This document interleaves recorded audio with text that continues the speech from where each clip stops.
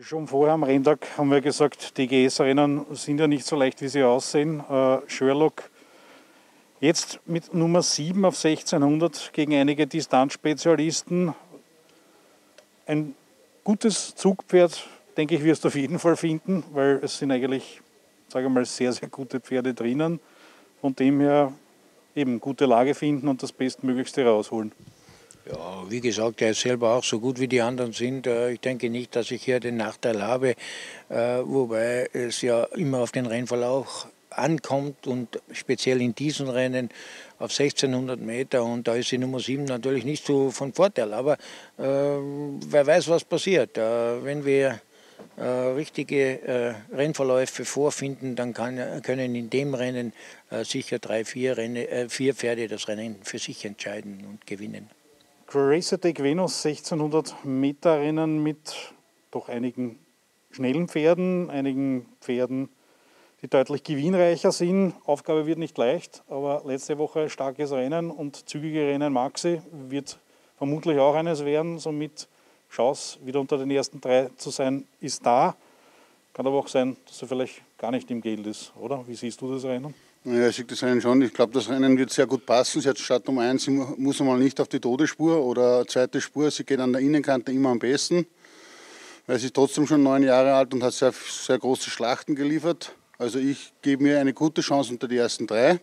Weil vielleicht komme ich, bin ich das zweite Pferd hinter Hansi und kann, da habe ein Vierpferd. Also mit 1 fängt sie sehr gut an. Ich glaube, dass sie eine gute Chance hat, unter die ersten zwei zu sein. Ja, Santiago Diamond, der trifft, sage ich mal, eine passende Prüfung an. Äh, gewinnen muss man jedes Rennen einmal, aber er kommt doch aus komplett anderer Klasse und auch endlich mal erste Reihe. Startschnell ist er, das heißt Abfahrt und nach Hause ist das Ziel. Ja, so denke ich das auch. Er kommt aus einer sehr starken Garnitur, wo er es eigentlich immer sehr schwer schon gehabt hat. Diese Garnitur ist sehr gut für ihn. Normal, normal ich denke, er sollte gewinnen. Ossi Venus, für dich jetzt noch ein Fragezeichen. Du kennst das Pferd aus den Rennen, als Gegnerin. Hast jetzt auch noch äh, keine Infos, keine näheren, aber du weißt, dass sie sehr schnell beginnt. Ich glaube, das wirst du ausnutzen wollen, um eine gute Lage zu finden. Ja, vor allem äh, auf 16 Meter braucht man auf nichts warten. Äh, Pferd fängt äh, riesig an.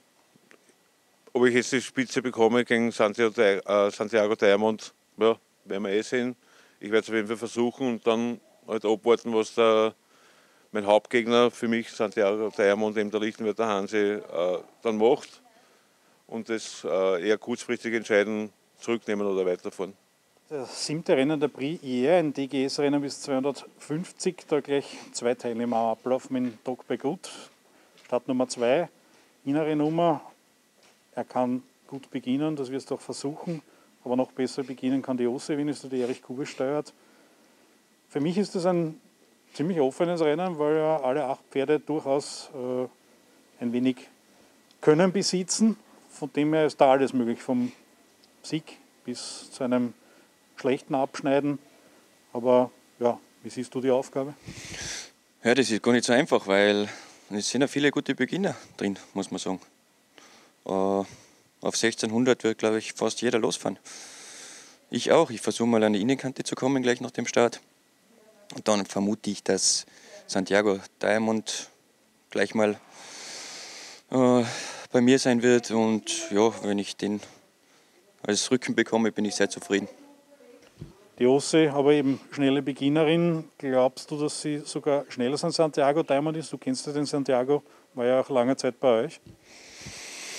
Sie ist eine richtig gute Beginnerin, Santiago Diamond auch. Und ich glaube, dass die, ja, dass die äußere Nummer vielleicht, um an Santiago vorbeizulaufen, zu schwierig sein wird.